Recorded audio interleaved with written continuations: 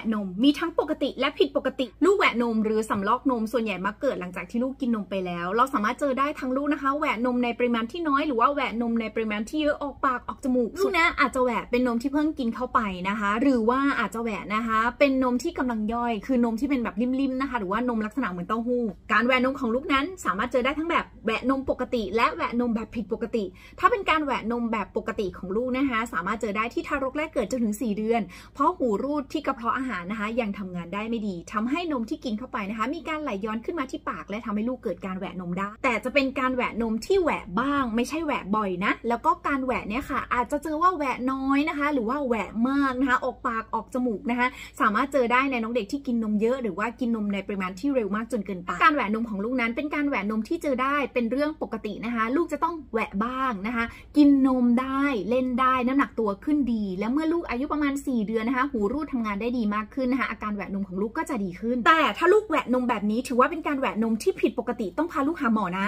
แหวะนมทุกมื้อหลังจากที่กินนมแหวะนมเป็นน้ำย่อยสีเหลืองหรือว่าสีเขียวออกมาหลังจากที่ลูกแหวะนมนะคะ ลูกร้องไห้งองแงร้องกวนนะคะ ซึมน้ำหนักตัวไม่ขึ้น หรือร่วมกับมีอาการอย่างเช่นมีผื่นขึ้นนะคะ หรือว่าถ่ายเป็นมุกเลือดแบบนี้ต้องพาลูกหาหมอค่ะถ้าลูกแหวนนมแบบนี้อาจคิดถึงว่าลูกมีสภาวะของโรคบางอย่าง ถ้าลูกแหวนนมแบบนี้ต้องรีบพาลูกหาหมอนะ 1. ลูกแหวนนมจากสภาวะกรดไหลย้อน ลูกจะแหวนนมทุกครั้งหลังกินนม ร้องไห้งองแงแสบยอดอกน้ำหนักตัวไม่ขึ้นเซ็งแหบและจากการที่ลูกนะคะแหวนนมหรือว่าสำลักนมบ่อยหลังจากที่กินนม แล้วมีการสูดสำลักนมนะคะ เข้าไปที่หลอดลมหรือว่าที่ปอดนะคะทำให้ลูกค่ะปอดอักเสบติดเชื้อซ้ำได้บ่อยครั้ง 2. ลูกแหวนนมจากติดเชื้อในลำไส้ลูกจะมีอาการคือถ่ายเหลวเป็นน้ำท้องเสียนะคะ ร่วมกับการแหวนนมค่ะ 3. ลูกแหวนนมจากการที่ลูกแพ้นมจะเจอว่าลูกอะแหวะนมทุกครั้งภายหลังจากที่กินนม หรือว่าบางคนนะคะก็จะมีอาการร่วมนะคะอย่างเช่น ลูกเป็นผื่นนะคะรือว่าถ่ายเป็นมูกเลือดนะ ร่วมกับน้ำหนักตัวไม่ขึ้น ถ้าในกรณีแบบนี้พาลูกหาหมอนะ 4. ลูกแหวนนมจากสภาวะลำไส้อุดตัน ลูกจะแหวนนมเยอะมากนะคะ แล้วก็จะแหวะออกมาเป็นน้ำดีสีเหลืองหรือว่าสีเขียวแล้วก็ร่วมกับมีอาการท้องอืดอย่างหลังนี้ต้องรีบพาลูกหาหมอค่ะ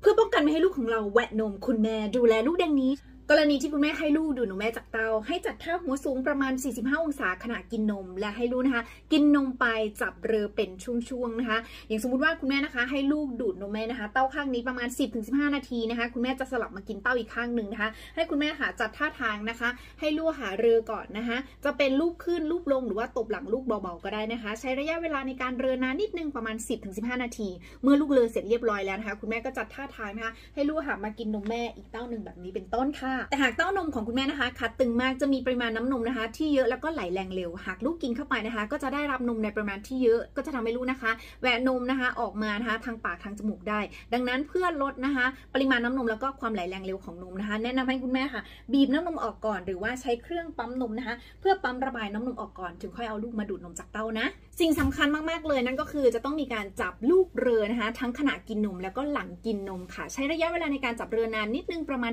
10-15 นาทีนะคะ ภายหลังจากที่ลูกเรือเสร็จเรียบร้อยแล้วนะคะ จัดศีรษะแล้วก็ลำตัวลูกสูงอย่างน้อย 30 องศานะคะ ค้างท่านี้อยู่นานประมาณครึ่งถึง 1 ชั่วโมงนะคะ ก็จะช่วยลดสภาวะแหวนนมของลูกได้ เพื่อป้องกันไม่ให้ลูกของเราแหวะนม กรณีที่ลูกกินนมจากขวดนะให้คุณแม่จัดหัวลูกสูงนะคะ 45 องศาขณะที่กินนมนะคะ แล้วก็ตะแคงนะคะ ขวดนมให้มีน้ำนมนะคะ จ่ออยู่ตรงบริเวณจุกนมตลอดเวลา เพื่อป้องกันไม่ให้มีอากาศนะคะ เข้าไปในกระเพาะของลูกค่ะ แล้วก็ให้ลูกกินนมนะคะ ที่เพียงพอเหมาะสมตามวัยของเขานะคะ ถ้าเป็นทารกแรกเกิดจนถึง 1 เดือนนะคะ ให้ลูกกินนมรอบละ 2-3 ออนทุก 2-3 ชั่วโมง ถ้าที่ 1 เดือนถึง 4 เดือนนะคะให้ลูกกินนมรอบละประมาณ 3-4 ออนทุก 3-4 ชั่วโมง ถ้าที่อายุตั้งแต่ 4 เดือนขึ้นไปนะคะ ให้ลูกกินนมนะคะ รอบละประมาณ4-5 ออนทุก 4-5 ชั่วโมงค่ะ แล้วก็เช่นเดียวกันนะคะ ให้ลูกกินนมไปจับเรือไปเป็นช่วงๆนะคะ แล้วก็หลังจากที่ลูกกินนมเสร็จนะคะ จับเรือใช้ระยะเวลาประมาณ 10-15 นาทีนะคะ แล้วก็เพื่อป้องกันการแหวะนมนะคะ หลังกินนมเสร็จจัดศีรษะแล้วก็ลำตัวลูกสูงนะคะอย่างน้อย 30 องศาอยู่นานประมาณสักครึ่งถึง1ชั่วโมงนะคะ ก็จะช่วยป้องกันภาวะแหวะนมของลูกได้